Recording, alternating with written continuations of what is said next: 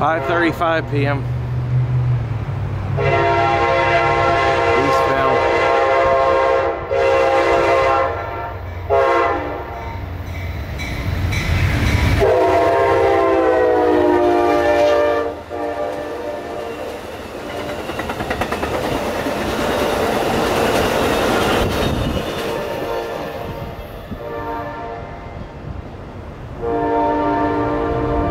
There was Amtrak 141 with one of the newly painted Genesis units.